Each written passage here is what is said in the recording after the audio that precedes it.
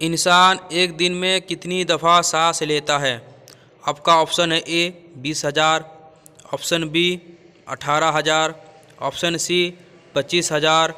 या option D, तेईस हज़ार।